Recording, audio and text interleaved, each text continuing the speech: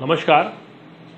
इससे पहले वाले व्याख्यान में हम लोगों ने नौवीं कक्षा के नाइन्थ क्लास के चैप्टर को शुरू किया था, जिसका नाम था what is democracy why democracy democracy क्या है और डेमोक्रेसी क्यों है?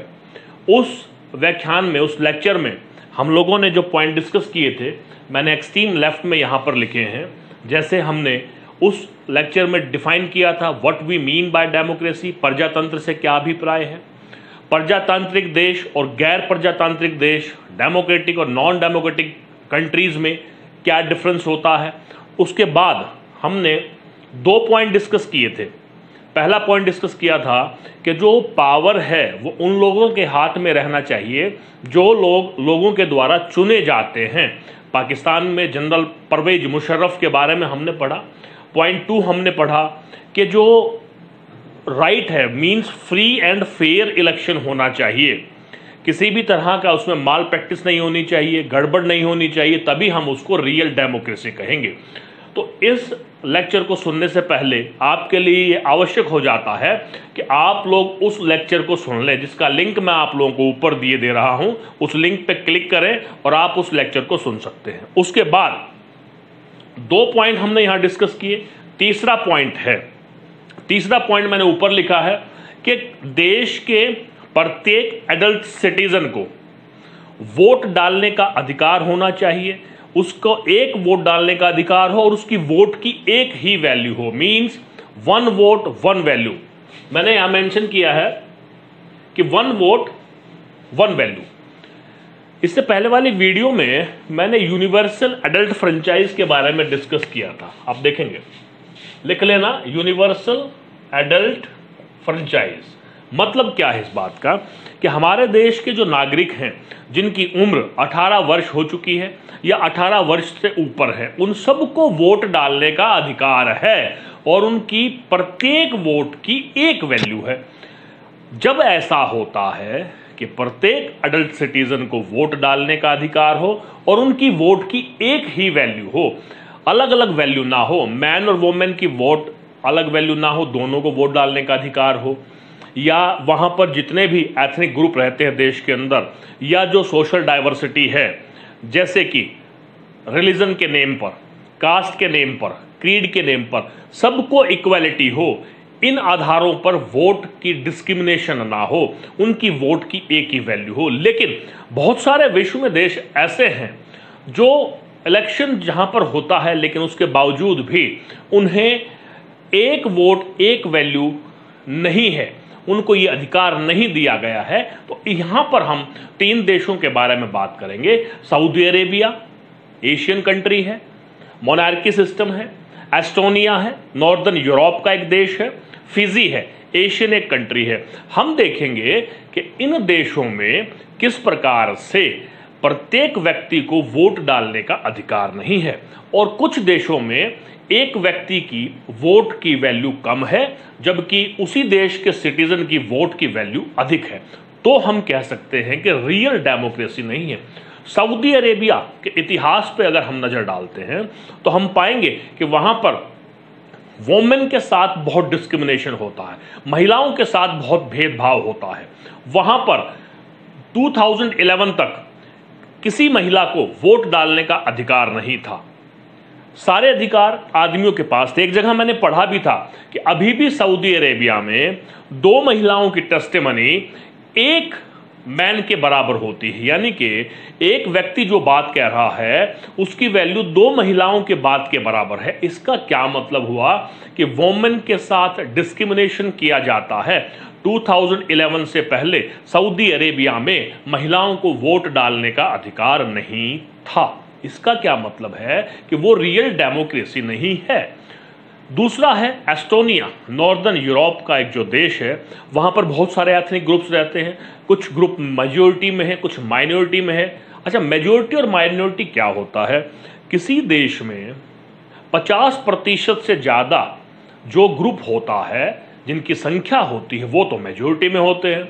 और दूसरे जो हैं, जो 50 प्रतिशत से कम होते हैं, उनको माइनॉरिटी में कहा जाता है। बहुसंख्यक और अल्पसंख्यक। देखिए, इसको एक एग्ज़ाम्पल से समझते हैं। भारत में जो हिंदू धर्म के लोग हैं, हिंदू रिलीजन के जो लोग हैं, वो मेजोरिटी में हैं।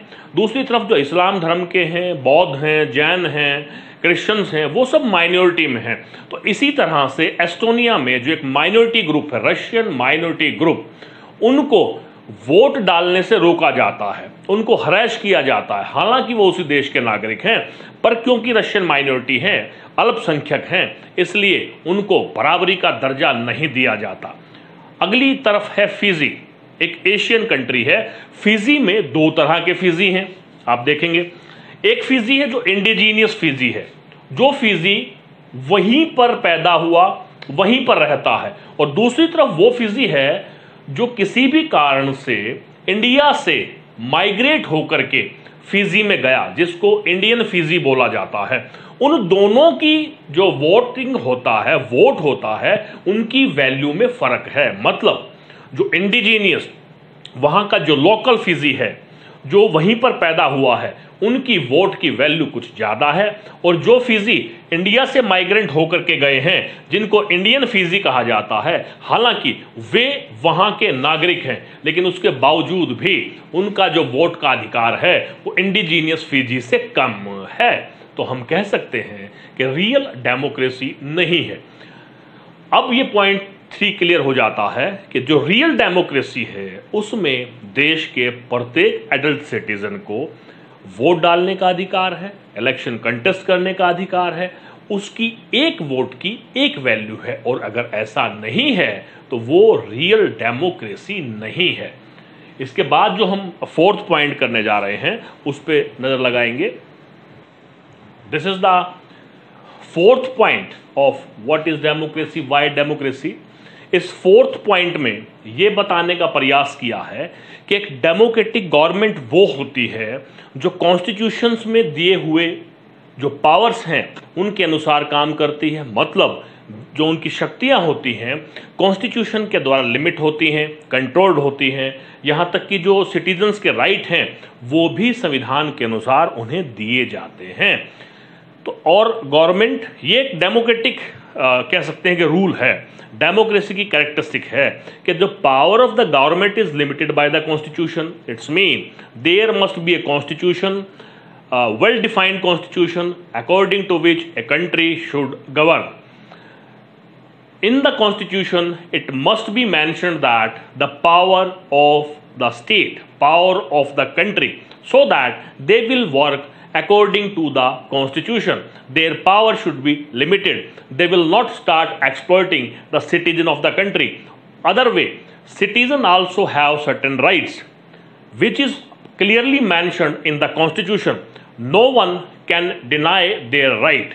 But this is the characteristic of a democratic country. But there are certain countries in which, although elections are taking place, although they are democratic country, by words, but basically they are not uh, behaving like a democratic country. So let's start discussion about Zimbabwe. Zimbabwe attained its independence in 1980. 1980 में Zimbabwe को आज़ादी मिली तब से लेकर के white minority के अंदर थे ठीक है कॉलोनी था और जिम्बाब्वे को जब से आज़ादी मिली तब से Z A N U Zimbabwe African National Union Patriotic Front. ये एक पॉलिटिकल पार्टी वहाँ पर है, जिनके लीडर हैं रॉबर्ट मुगावे। वो बहुत पॉपुलर हैं, लेकिन जो वहाँ पर माल प्रैक्टिस करते हैं, जो डल्टी ट्रिक्स अपनाते हैं, जिनकी वजह से जिम्बाब्वे को रियल डेमोक्रेसी नहीं कहा जा सकता, उनमें से कुछ हैं very first.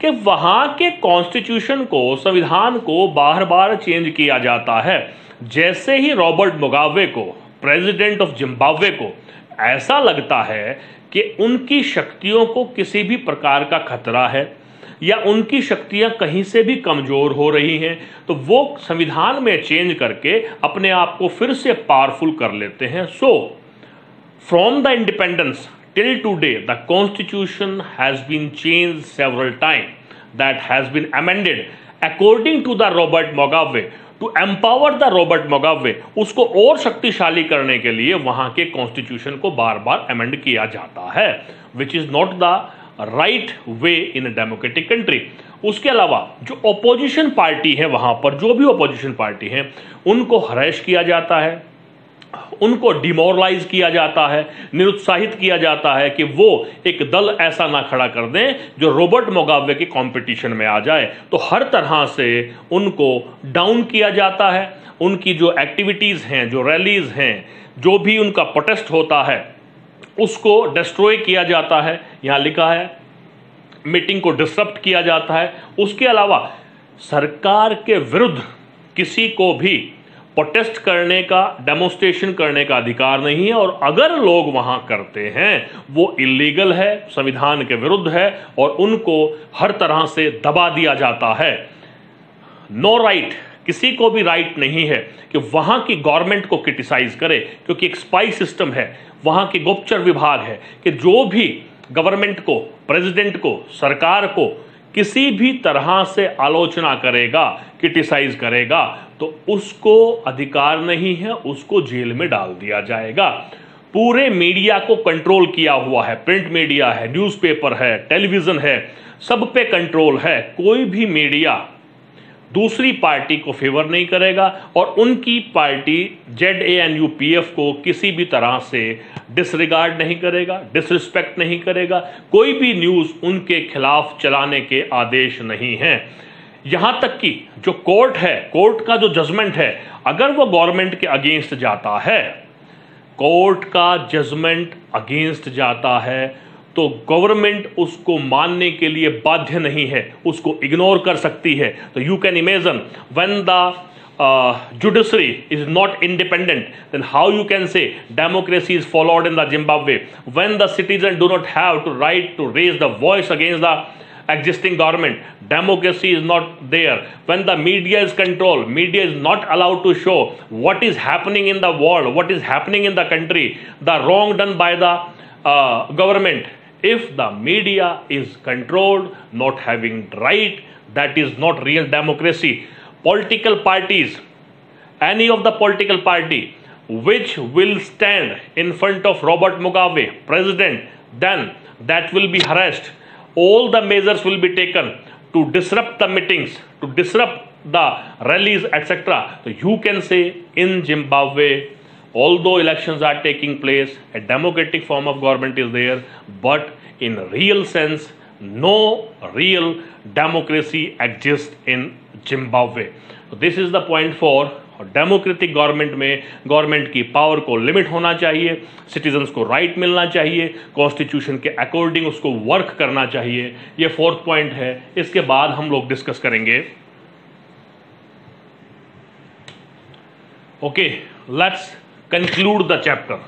I have written certain things, you just have a look upon it.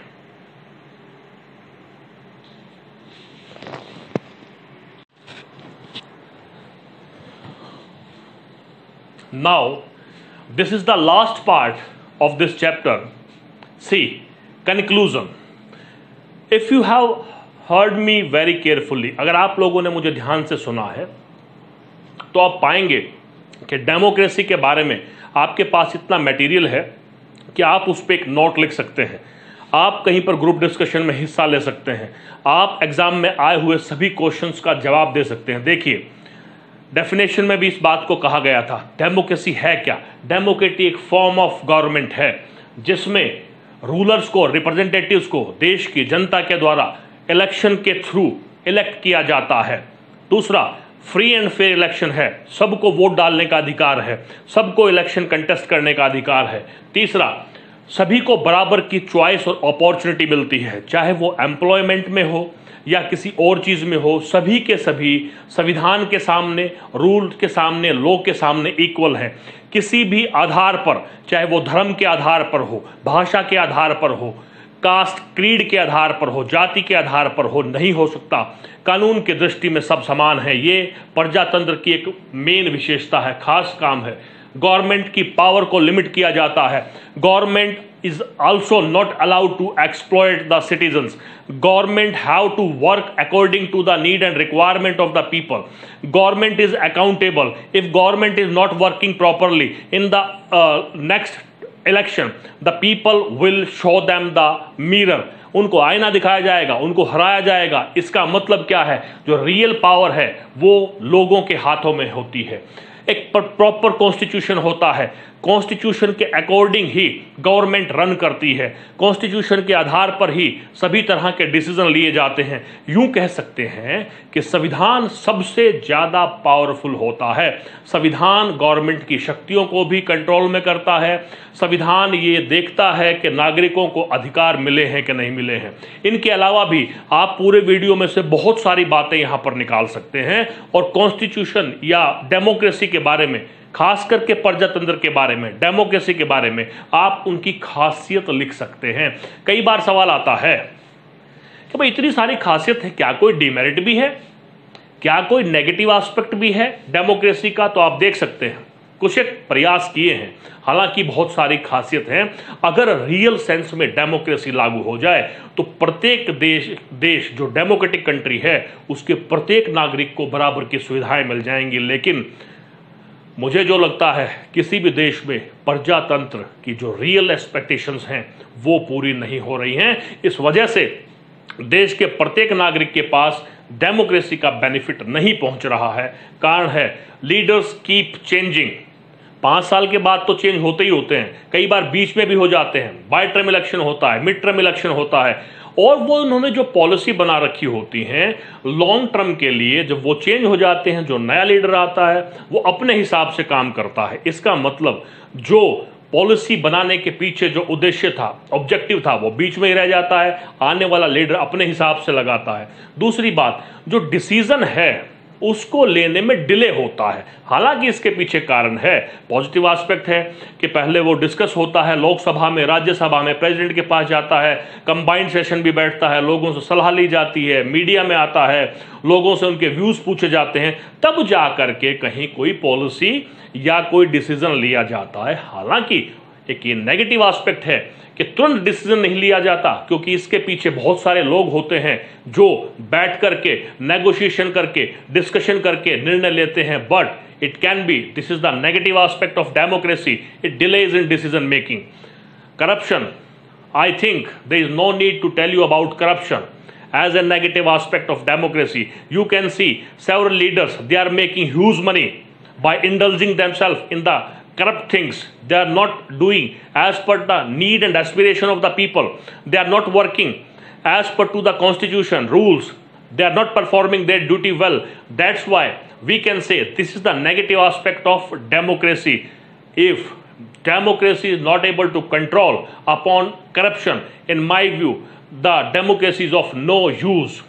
Heredity you will find आपको मिलेगा कि राजा का बेटा राजा, एक कोई मंत्री है बड़ा, वो अपने बेटे को भी प्रमोट करता है, पार्टी की टिकट उसको दिलवाता है, वो भी संसद तक पहुँचता है, वो भी लेजिस्लेटिव असेंबली तक पहुँचता है, जो छोटे वर्कर होते हैं, या जो और जो लोग योग होते हैं, वो नीचे रह जाते हैं, ऊपर तक नहीं आ पाते, इसलिए डेमोक्रेसी का एक लूप होल है। उसके अलावा डर्टी ट्रिक्स हमने जिम्बाब्वे के कंसेप्ट में, हमने मैक्सिको कंसेप्ट में हमने इतनी सारी डर्टी ट्रिक्स देखी हैं जिनकी वजह से जो रियल लीडर हैं, वो पॉलिटिक्स में आते ही नहीं हैं। This is the negative aspect of democracy so this is entire thing about democracy I have defined what we mean by democracy the difference between democrat country and non democratic country and then with the help of example I have described which one is the real democracy, what should be the characteristics, what should be the uh, real sense of democracy. One example I have taken of Pakistan, then China and Mexico. You will read the literature, you will find it very easy. Then we have discussed about Mexico, Estonia, Fiji, Saudi Arabia, China. So आपको अब करना क्या है आपको book पढ़ना है literature पढ़ना है आपको समझ में आएगा, पक्का आएगा, नहीं आता है तो आप नीचे कमेंट बॉक्स में लिखिए। अगली, अगले लेक्चर में, अगले व्याख्यान में मैं उसको पूरा कर दूँगा। अगले व्याख्यान में मिलते हैं। तब तक के लिए नमस्कार। जय हिंद, जय भारत।